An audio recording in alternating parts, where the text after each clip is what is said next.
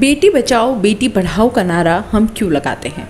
जब हमारी बेटियाँ अपने घरों में, अपने रिश्तों में ही महफूज नहीं हैं। बाहर से बचाने आप कैसे जाएँगे जब वो अपने घर में हवस का शिकार बन रही हैं? किसकी बुरी नज़र से बचाएँगे जब हर नज़र गिद्ध वाली होकर उसे नोचने को तैयार बैठी है? क्या कहेंगे आप जब आपको पता चलेगा कि एक मासूम बच्ची से दुष्कर्म होता है और ये घिनौनी हरकत करने वाला कोई और नहीं, बल्कि उसके भाई ही हैं। उदयपुर के अम्बामाता थाने में 11 साल की नाबालिग बच्ची के साथ दुष्कर्म के मामले में दो नाबालिग बच्चों को डिटेन किया गया है।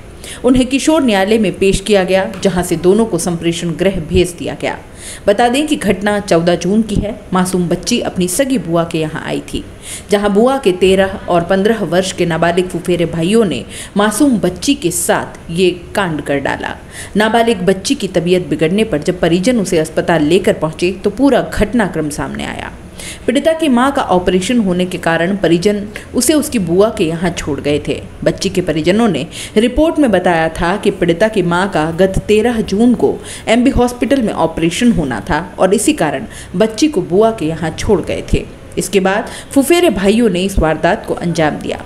वारदात के बाद जब बच्ची की तबीयत बिगड़ने लगी तो बड़ी बहन उसे एमबी हॉस्पिटल लेकर गई, जहाँ पर डॉक्टरों ने जाँच के बाद बच्ची को जनाना हॉस्पिटल रेफर कर दिया। जब परेशानी और बढ़ने लगी तो डॉक्टर उसे ऑपरेशन थिएटर ले गए।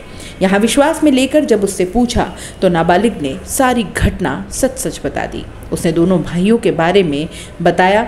डॉक्टर ने उपचार के बाद उसकी बहन को इस पूरे घटनाक्रम के बारे में बताया।